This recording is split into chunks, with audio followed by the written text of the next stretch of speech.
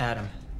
If you wanna know how my life is going, there's somebody close to you and she already knows it. Yeah. All my ex's moms listen to my songs, yeah, they can't get enough, still keep in touch since I moved on.